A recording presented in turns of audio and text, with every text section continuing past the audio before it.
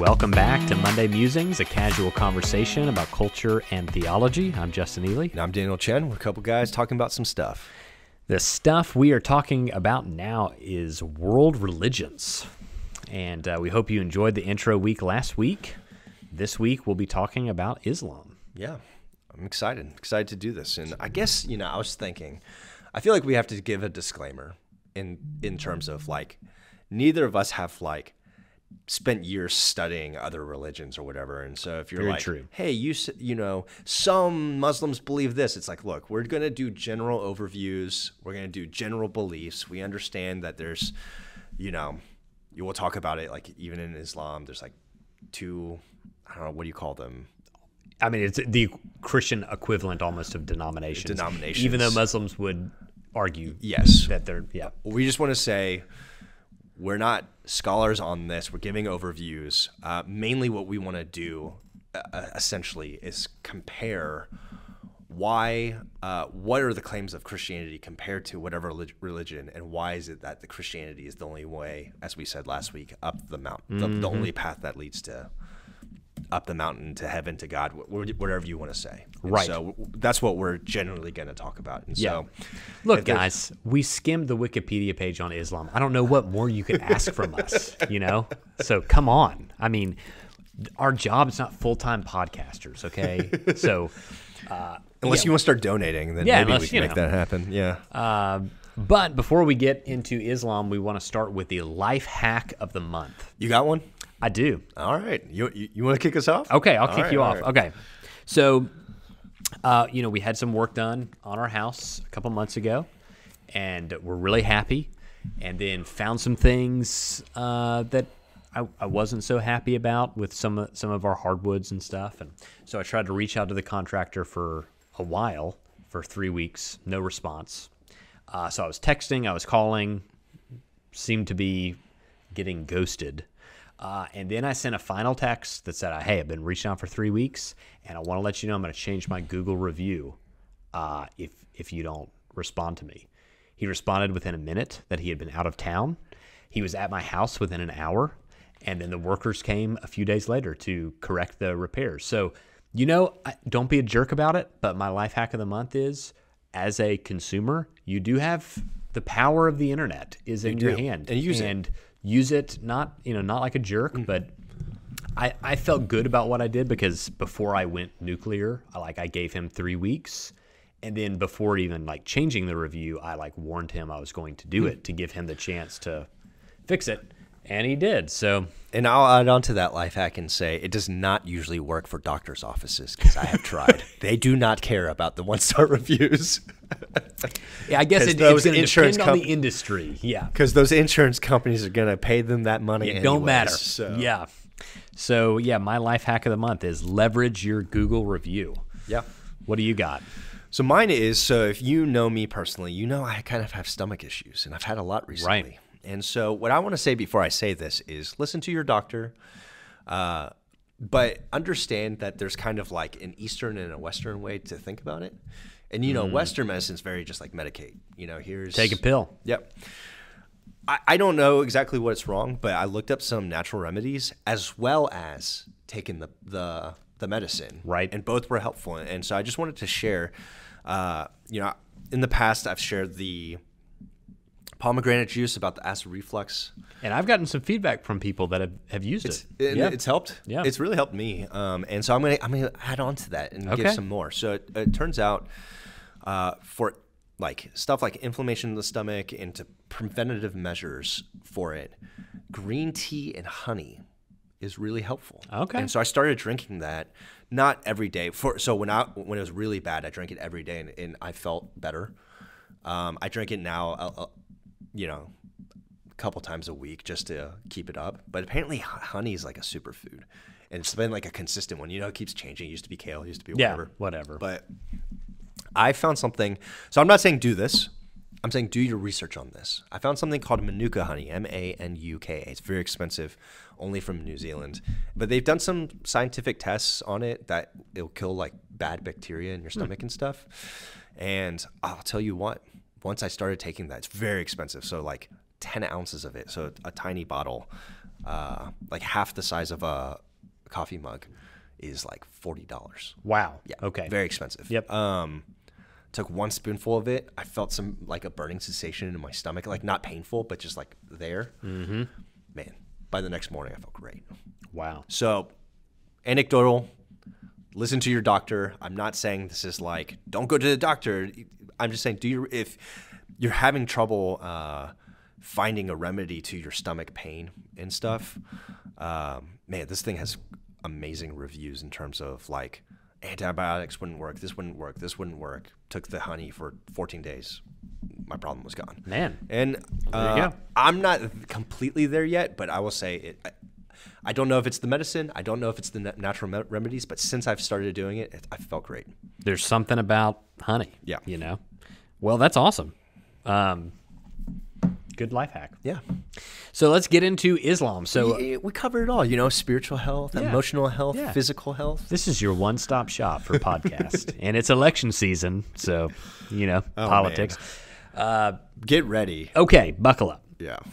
So we're going to talk about Islam today. Uh, a few different sources we have. Um, Ten things every Christian should know about Islam from Zane Pratt on the Gospel Coalition. Nine things every Christian should know. So by Joe Carter. So I don't know what the one things. thing. Yeah. And then eight. then Don Carson, Doug Sweeney, and Harold Netland wrote an article for the Gospel Coalition called "The Message of Islam versus the Gospel of Jesus." So recurring theme of the Gospel Coalition. And then we have an article from the BBC Right. and we will publish all those in the show notes. Uh, but yeah, these all this stuff I want to give you know verbal credit, uh, not coming from us. Sure. You know?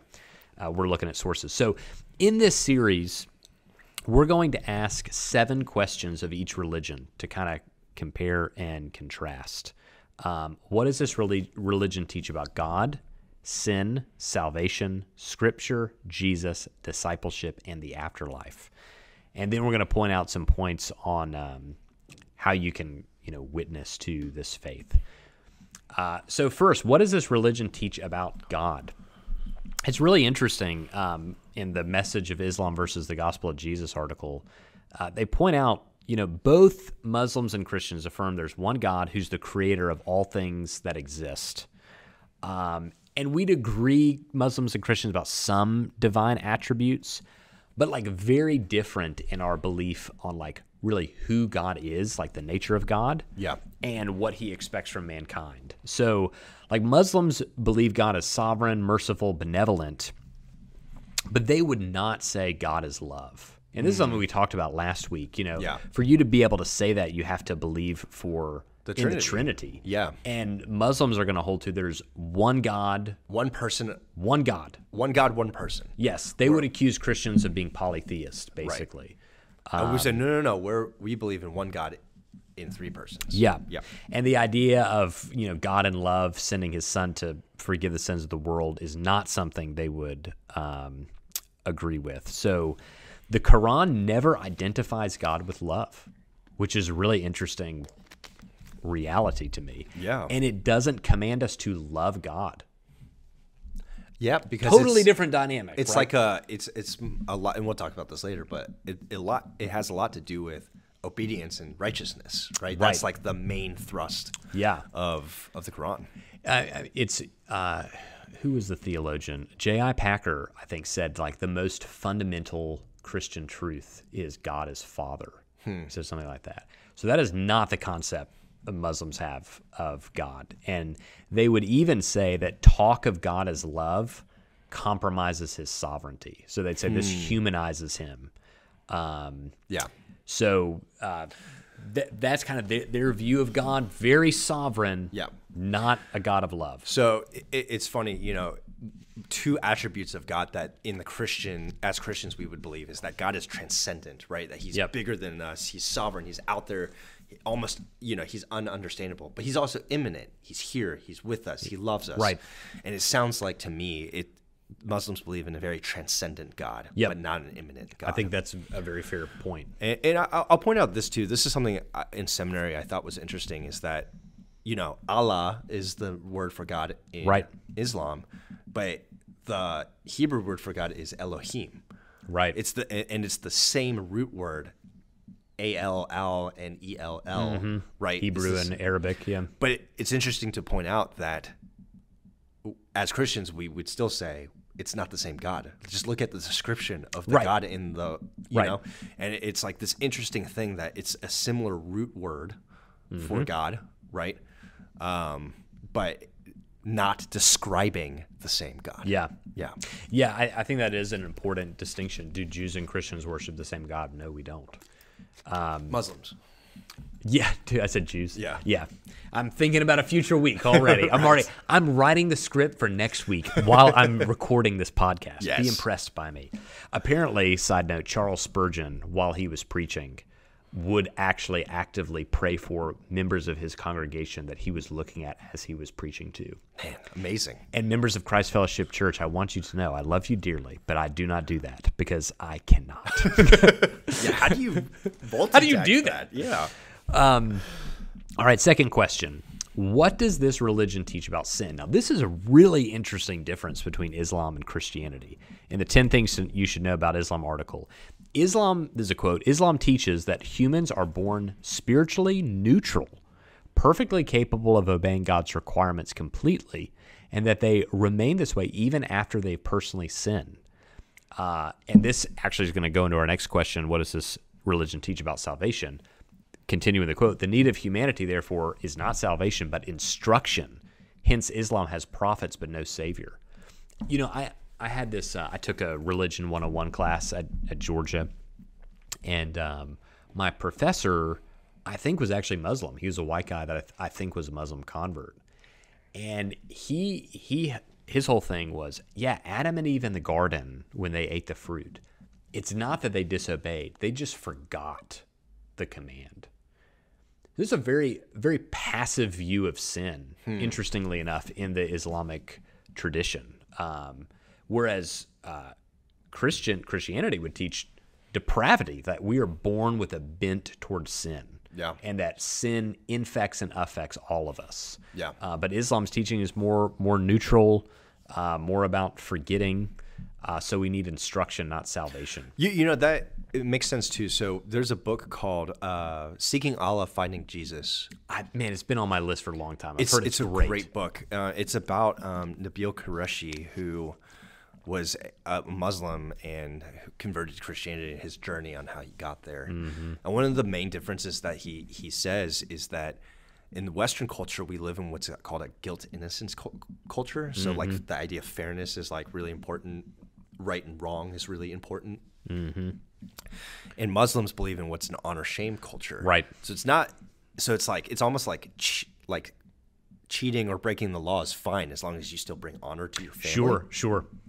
And what is actually bad is bringing dishonor to your family, Mm-hmm. not necessarily sin. And and I'm like, you know, it's interesting to think about that. It's actually pretty congruent with the teachings of Islam, and I I didn't realize that that the honor shame culture f- fits in well with uh, the the idea of sin Yep. because it doesn't really matter if you break the rules, break the law, as long as you bring honor to Huh. That's interesting. yeah. Yeah. So, you know, like I said, that ties into what does the religion teach about salvation? We don't really need to be saved. We need to be instructed. Right. And we're capable of doing that. We're, we're able to produce the good deeds that this religion requires if we just are instructed the right way. And It's interesting to think about because when we think about Adam and Eve as Christians, they were the only ones that we we would say were capable of obedience of, of God. Right. Whereas after the uh, Adam and Eve sinned, we have the idea of federal headship that Mm-hmm. because of Adam's sin, or this is Romans 5, because of Adam's sin, now all sin, and because of Jesus, who is the ne- new Adam, those who are under him now are able to, in the, in the Holy Spirit, obey God. And Right. yeah, very different view. And that teaching on federal headship is brought to you by one of our former listeners of the month, Jonathan Wisdom, one of our favorite Presbyterians. Yes. Thank you, Jonathan, for listening. Uh, Presbyterians love them some federal headship. So, This, is my, that's, this is my PCA training Right, coming out. right. Yeah. uh, what does this religion teach about Scripture? So, the most important text in the Islamic faith is the Quran, which literally means the recitation. And again, we, we've talked about this uh, last week, I think. Unlike Christianity, which teaches that the Bible is inspired by the Holy Spirit, but was like written through the personalities of the authors. Right. Uh, Muslims believe that this was, I mean, given straight from the a- angel Gabriel to Muhammad while he was in like a trance like state. It occurred over a gradual period of 23 years, concluding in Muhammad's death. Um, and a number of his companions who knew the Quran by heart uh, collected it into a book uh, so that it could be preserved. So the, the chapters in the Quran are called surahs, and the verses are called ayahs. I think I don't know if I'm saying that right. I'm, I'm sorry if I'm not. Um, so different understanding of like how the scripture came to be. Yes. From Islam to Christianity. I, I will say something just to point out it, as listeners of this podcast is many of these religions they've got their book or whatever from an angel speaking directly to someone in a trance. Demon, maybe. You know, there's a I mean, theory- honestly, you there's know? a theory that uh, that it could that could have happened. Right. It was actually a, a demon and Yeah. you know, doing it. for, Um, for sure. And, and it is interesting too how like w- with you see with Christianity, just the like early manuscript evidence, um, and just the multiplication of manuscripts like crazy of like the New Testament letters, the careful, detailed preservation of Old Testament text.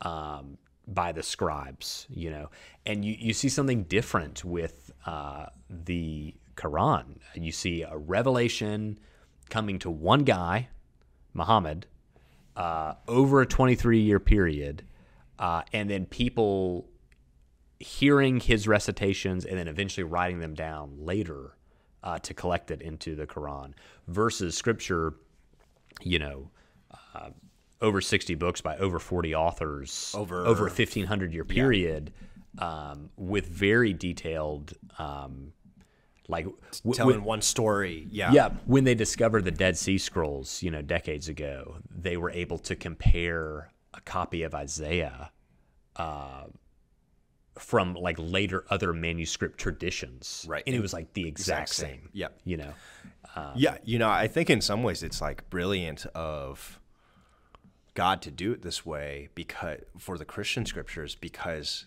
that's th- that's like such good evidence to me. Mm-hmm. It's not one person. It's 40, 40 authors are saying the same thing. Yep. Right? Hearing from God, right? Yep. Cuz like in a sense like one person yeah, can hear from God, Sure. but, but you can also make that up, Right. Right? And you can make that claim, they're making it up, right? forty over forty people, sixty six books. It's just 1500 years. yeah, It's- three different languages, three different continents. I mean, come Yeah. on. Yeah. It, and it's like, you know, I always say, I mean, to quote our president, come on, man. come on. Sorry. Um, and, it, you know, I, I always ask this question because some people are like, oh, I don't know. Like, I don't know if I can believe in the scriptures because it was written by man. And, it, you know, maybe I said this last week, but I'm like, really? You, if it floated down from the sky, you would think it, you Sure. would believe it more? I'm like, no. Like, the fact that it was written by 40 authors, 66 books over 1,500 years, all saying the same thing, I'm like, that that's really convincing to me. So, Yep. Yeah, and this was an interesting thing pointed out by Joe Carter in his um, Nine Things article. For a believing Muslim, the Quran almost occupies the position of Christ for Christians. interesting. So it's almost like, uh, like the the Quran occupies a, a very unique, special place, and so you shouldn't handle the text unless you're in a state of like ritual purity. you know, yeah. And so, like even touching the Quran has implications. And you got to make sure you you've cleansed yourself. So uh, it, it's definitely not a one to one equivalent. Christians how they view the Bible, Muslims how they view the the Quran. Um, and then there's also hadiths, right? Which Yes. is something different. Yeah, so it's um, the hadith is I think sayings. It's like sayings of Muhammad, and it isn't like the same level as the Quran, uh, but it's like a book that Muslims also read for wisdom and ins- instruction, like we talked about. And so uh, they have it, it. You know, we have the Bible, mm-hmm. but it re- but Muslims have the Quran and the Hadith, Right. right? And so that's just something that's a little different that just to know as well. Right, for sure. Uh, another interesting thing uh, the Muslim view of the Christian Bible.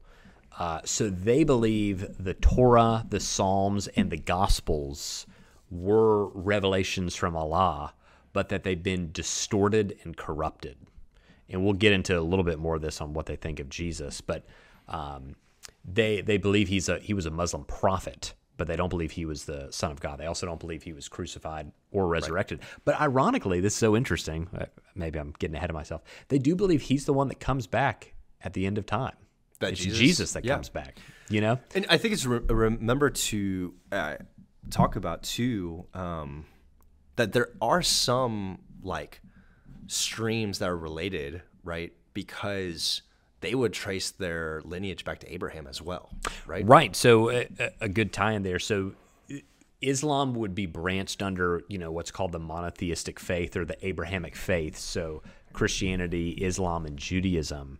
But they also have like a very different uh, interpretation of like you read your Old Testament, you read Genesis and stories about Abraham, and their stories are a bit different. And Ishmael is going to feature much more prominently and differently, Isaac. not Isaac. You Yeah. know, so it, it's interesting. Like uh, they believe that he went with his son Ishmael to to build the Kaaba in Mecca, which is that big like black box in in Mecca, um, to worship Allah. So very different things going on. Um, in the like, if, my understanding is if you read the Quran, um, the longer you read, the the more differences in the stories that there are. Sure. So, um, next question: What is this uh, religion? What does Islam teach about Jesus? Uh, so, in the Ten Things article, point out uh, it affirms Jesus was born of a virgin, lived a sinless life, performed many mighty miracles, and that he will come again at the end of history. It even calls him the Word of God. That that's just so interesting. Yeah. Uh, and and in Arabic, Jesus is Isa, um, but it denies uh, his deity. They don't believe he's the Son of God. Uh, they think that title is blasphemous. Um, and in the majority view, it they deny that he died on the cross. I think they believe Yeah. that he switched places with Judas, like at the last moment, like um, because they don't. They again honor shame. How could God ever allow? Yeah. a prophet to die a death like that. Like Yep. it's it's unthinkable, Right. uh, to them, and therefore they don't believe that he he raised from the dead, but they think he was raised up to heaven without tasting death. So kind of like we would hold Enoch and Elijah, similar kind of thing, um, and they don't believe in the possibility of substitutionary atonement. Um, so it, it is interesting because most Muslims have a very high regard for Jesus, uh, but not Not not, Not as God, not not as as, God, right. Savior. But um, yeah, Yeah, I think something here too is that they deny Christ as the Son of God, and something that was in the seeking Allah, finding Jesus thing that was pointed out that I thought was really interesting is as you talk to a Muslim about it, that term "Son of God" is is not helpful. You want to point them to when Jesus calls himself the Son of Man, um, because Mm. the Son of Man calls back to Daniel seven, and that description of the Son Right. of Man is God. Yep. And uh, Jesus constantly calls himself. Yes. He calls hi- the, his disciples the sons of God. Yep. But he constantly calls himself the Son of Man. Yeah. And that's kind of like the evidence that Jesus is calling himself God. Right. Um, it's pretty interesting. yeah. It's, it's interesting going through Mark now. You know, it, it's it's his favorite title for himself, Son of Man. Yep. and it's only used by him. No one else ever calls him that. He calls himself that. Yeah, interesting. And yeah, Daniel 7, it is clear the Son of Man is someone who has been given authority by the Ancient of Days to rule all things. You know, it definitely a claim to deity. Uh, next question What does Islam teach about discipleship? Meaning, if you're Muslim, how do you live out the Muslim life? Yeah. So, the very word Islam itself means submission. So, a Muslim, someone who submits to God. Um, and you should do this based on the teachings of Muhammad. the Islamic creed is there is no God but God, and Muhammad is his prophet. So they got two main problems with Christianity. One, they'd say we have three gods, Right. and we deny Muhammad as his prophet. So it's really interesting. I mean, you've probably heard different news articles over the years of. I think a couple of years ago there was a cartoon artist in uh, Europe that made kind of satirical comics of Muhammad, Yeah. and that was not okay. Yeah. I mean, I, he was met with violence, if I remember correctly. Yeah. South South Park did it too, and uh, there was freaking out that that happened. Yeah, they, South Park's, I would guess, was much worse. Right, right. Uh, yes, South Park is an equal opportunity offender. You know, They 'em are. at least that. Um, the the main way to live the Muslim faith, though, is the five pillars of Islam. Mm. So you have the confession of faith. There's no God but God, and Muhammad is prophet. You have prayer, so ritual prayers that are supposed to be said in Arabic five times a day, facing Mecca, uh, performed in prescribed sets of bowing, kneeling, prostration. You have alms giving to the poor, which is taken as a tax in officially Islamic countries. You have fasting uh, during the month of Ramadan. You fast sun up to sunset. Uh, and then you have a pilgrimage, the Hajj, which is a, a trip to Mecca that every Muslim believer should make once in their lifetime if they can. Yeah. Uh, so that that's kind of the main like structure of the faith. Five pillars of Islam. Um, two main, you could call them denominations or sects. You have Sunni and Shia. Uh, Sunnis are the vast majority, eighty-five percent of them. Uh, the split occurred uh, the generation after Muhammad's death, based upon who should succeed him. Um, so the Shia tack on an additional sentence to the creed there's no God but God, and Muhammad is his prophet. They add, um, and Ali is the friend of Allah, who was supposed to be, who is the cousin of Muhammad. So they would believe that the like successor follows that kind of family lineage. Um, that's the Shia, and the uh, Sunni don't. So that, that's kind of the split on like who should be like the head of the faith kind of thing. You know, the interesting thing to me about that is, so mu- one of the Muslim claims is like the Quran is God's word and has never been changed. But then we see immediately after the death of Muhammad, it changes immediately. Right. And and you also have I, I think a lot of um, a lot of Muslims would kind of point to Christians and be like, look how divided you are in your denominations. Islam is united. And it's like, well, not not really. Right. you know, I mean, you, there, there are some significant divisions. Um, and then I think there's even another sect. I'm trying to remember way back when to my religion 101 class. There is a more mystical uh, sect of Islam that doesn't quite fit either into the Shia or Sunni. Yeah. Um, But once again, this this goes back to the honor shame thing because mm-hmm. it's it's almost like it's okay if it's illogical as long as you're not dishonoring. okay. right? Yeah. And so even the teaching of like the kids, and I'm getting a lot of this from Seeking Allah, Finding Jesus, Right. Uh, but it's like you can't even question the elders when there comes like logical fallacies. Sure. Just listen, Sure. um, you know. And, and I I, th- I found that interesting. That's how it's passed down, right? It's Right. this honor shame thing. Yep. Yeah.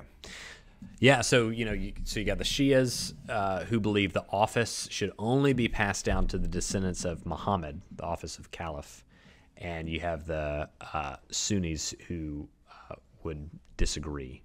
Um, and you know, so it's interesting. So like Iran is prom- predominantly Shia, and Saudi Arabia and most other Arab countries are Sunni. So you you see like tensions, you know, um, that erupt even in, in the Middle East. Yeah. So, um, there's also Sharia law, and this this gets a lot of you know kind of coverage in, in America. I, I think people get easy to get confused about this. So this is the moral code and religious law of Islam's of Islam. Um, two primary sources: the precepts in the Quranic verses and the examples set by Muhammad in the Sunnah. Um, there's also different grades or classification of Sharia. So there's obligatory, there's recommended, there's neutral, there's discouraged, and there's forbidden. So every human action belongs to one of the five categories. And uh, most Muslim countries adopt a few aspects of Sharia, while a few countries apply the entire code. Okay. So there's also variation there. and we were talking about and this is like pretty interesting too like the muslim like the like islamic faith might be the most like intense about their views on like women's rights and homosexuality and that ties into this right Yeah, you know, it, it's really interesting that at least in America today, you know, Christians are the homophobic anti-women group. bigots Yeah. Um, but but Muslims get like a free pass, and really some of this goes down to like critical theory and how uh, like minority oppressed statuses change everything. right So, according to kind of critical theory, like Muslims are still like an oppressed group, so to speak, and so they're allowed a free pass. We don't need to worry about them. They're they're like on our side in how we view the world, And- even though their views on homosexuals and women are like way, way, way more, extreme, radical and yeah. extreme than Christians ever are. Um, so it's just interesting how pretty interesting viewpoint in yeah. our culture, in this cultural moment, and we're only 20 years past 9 11, right? But in this cultural moment, um, Christians are considered like a grave threat to our culture, right but Muslims are not. It, it comes back to the, I mean, the neo Marxist stuff because Marxists in the past 100 years, Christianity is the enemy of the state. Yes. Uh, and so it really comes back to that a lot too. Yep. Even, even though, once again, It's just- Islam's view is right. more extreme. I mean, you just think about, I mean, there's still honor killings that happen, you know, It's, it's crazy. today. Yep. Uh, I mean, it's, yeah, it's crazy. So, Um, and you know, it, it is an interesting and is a worthy aside. There's at least since 9/11 has been the debate: is Islam a religion of peace? right. And it's like, well, it depends on who you ask and what you read and how you define that context. Yeah. Because there's some stuff. I mean, you were looking it up before we press record. There's some some stuff in the Quran that's like, wow, that's that's pretty violent. Yeah. I mean, uh, like You know? straight up Commands. Just commands that say you should like commit violence against the Right. non-believers, Right. The infidels. And and when you look at the life of Muhammad, I mean, you uh, there there's some sketchy, violent. Yeah. You want? I here's what I invite you to do. Read up on the life of Muhammad, about how he treated women, and read up on the life of Jesus on how he treated women, and you can decide for Yeah. yourself. Uh, drastic, drastic difference, um, and it, very violent person. Um, so yeah, it, it, it's that interesting. You'd have people that says no. I mean, Islam really teaches violence, Yeah. and then you have some Islamic teachers that would say no, you're misinterpreting the Yes. Quran. Yeah. Um, but you, you certainly There's- see radicalism. I there's mean, you use radicalism in every religion, but you certainly see it in Islam. Absolutely. And and so we just want to say like obviously there are people who misuse and abuse the belief Sure. for their own gain. Yep. You see that in Christianity, you see that in Yep. Islam, you know, you see that in all sorts of belief systems and Mm-hmm. religions. So there's always extremists that everyone would like be like they're not part of us. Yep. Um, but I think Islam has particularly some statements in the Quran that um, are seemingly condoning violence. sure. I'm not saying terrorist acts. Yep. I'm just saying violence. Yep.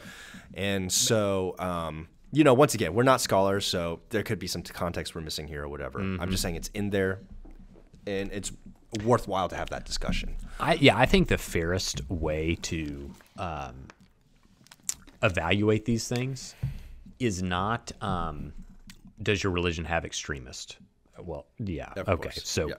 um, but like, what did your founder teach, and how did your founder live? Mm. And so when you're talking about extremism, uh, look at the life of Muhammad and compare it to the life of Jesus, and Right. you will find two radically different people. And I, I think that I think that is totally fair game, Right. You know, um, and so yeah, I think w- worthy discussion. Last question: What does this religion teach about the afterlife? By the way, did we cover the salvation thing? We might have. We did, yeah. No, no Oh, just- salvation, just instruction. Yeah, really. just- yeah. Yeah, the good and bad thing. Did we talk about that? That's what. That's what. Is that this? That's where we're coming. Okay.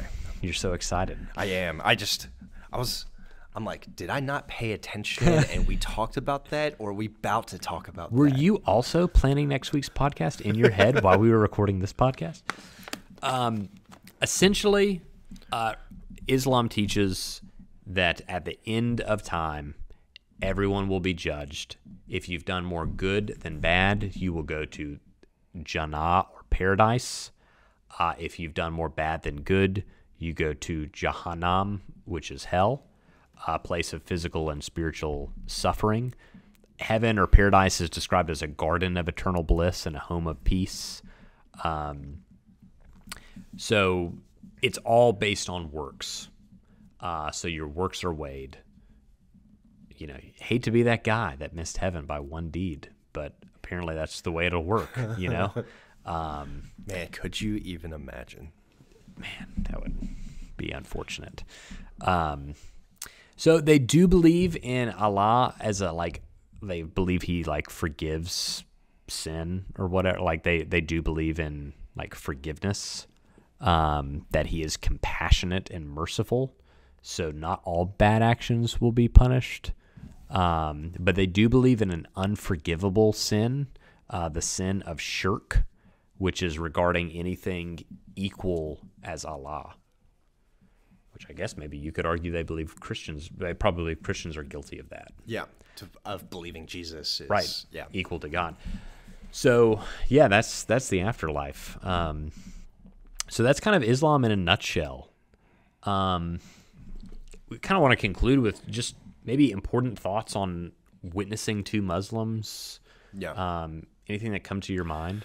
Yeah, I have a few. So I, I've been able to witness to uh, multiple Muslims. Um, never personally led a Muslim to faith, um, but you know, first of all, understanding honor shame is really Sure. important, especially if you are a Westerner, which I would guess almost all of you are who are listening.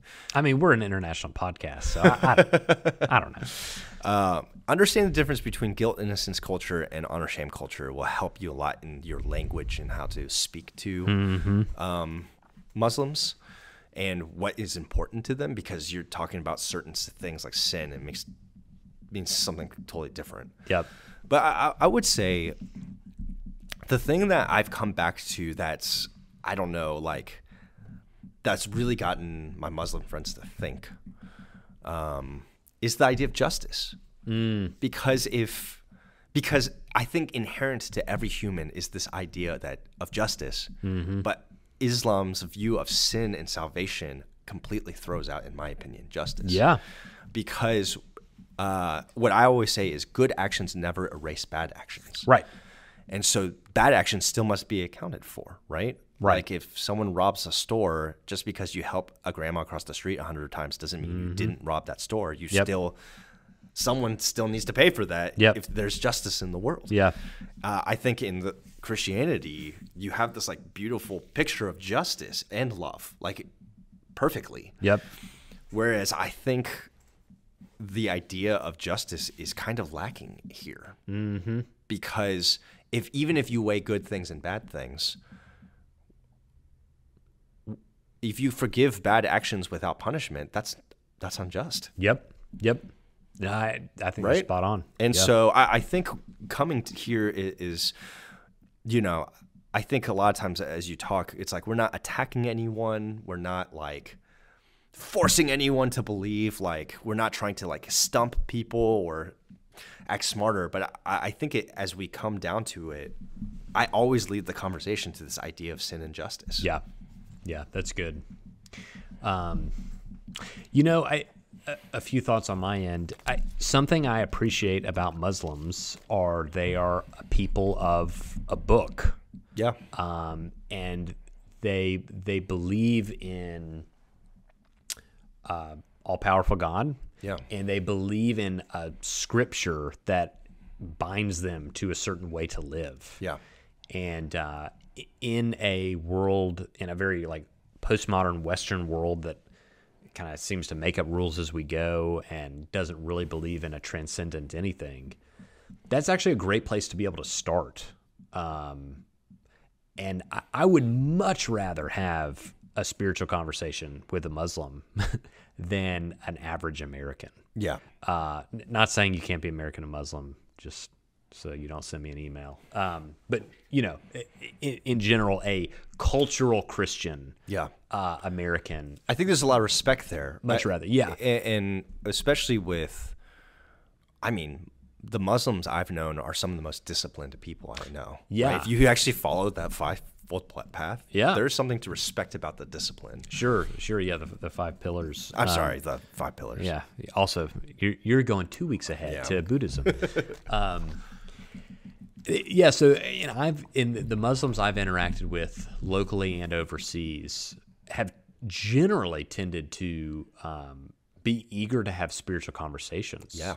Uh, which I find most Yeah, like kind yeah. of cultural Christians really don't they don't Yeah, that's do a it. great point.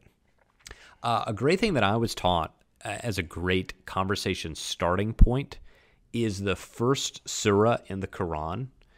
Um, they consider this to be the perfect embodiment of Islam. They recite this daily in their prayers. And uh, one of the things it says is, uh, We do worship and we do worship, and from you alone we do seek assistance. Guide us to the right path the path of those to whom you have granted blessing. Uh, and one of the things I was taught is to say, you know, I just, that first surah, what do you think the right path is? And uh, opening up that conversation on on their turf, you're you're playing on their turf at that point. You're Right. quoting their book, and then then you go into, you know, I believe Jesus is the way, the truth, and the life Yeah. is a helpful. I had a years ago. Um, I had a conversation with a Muslim guy in a gas station, uh, and I brought that up, and he's like, "All you white people love that first surah." I'm like, he must have had other people that took the training that I did that had you know used that on. Um, but the other thing I'd, I'd encourage too is because Muslims have a high view uh, of Jesus, uh, talk about Jesus, offer to read the Gospels with them. Yeah. Um, talk talk about the life of Jesus. I, I think is the, and then be be willing to compare.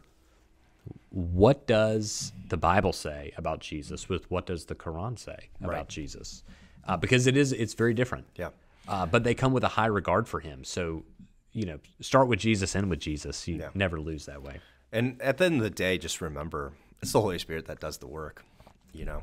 And Absolutely. no matter what arguments you throw out there without the transformation of the Holy Spirit, all you're doing is planting seeds, which is Yep. great. Yeah, It's great to plant seeds, Yep. but just to remember that. Yep. So, And I, and I think like, and again, it's been 20 years um, from from 9/11, but you know th- there there have been a lot of um, there's plenty of anti-Muslim rhetoric to go around in our our country, and uh, we need to love our Muslim neighbors, not be afraid of our Muslim neighbors. Sure. So uh, you know, I think that that people can sense the disposition you have toward them. yeah. Um, and so uh, they are people lost in need of salvation through Christ. And we have the answer uh, for the human longing for justice and forgiveness and Yeah. cleansing. And we have the answer for how their shame can be removed and um, how Jesus took our shame and gave us the honor that he deserved. And uh, so much, and took our guilt and gave us the innocence that we didn't deserve, you know? Yeah. So a lot of good stuff. But hope hope this podcast was helpful to you, and we look forward to continuing our series next week.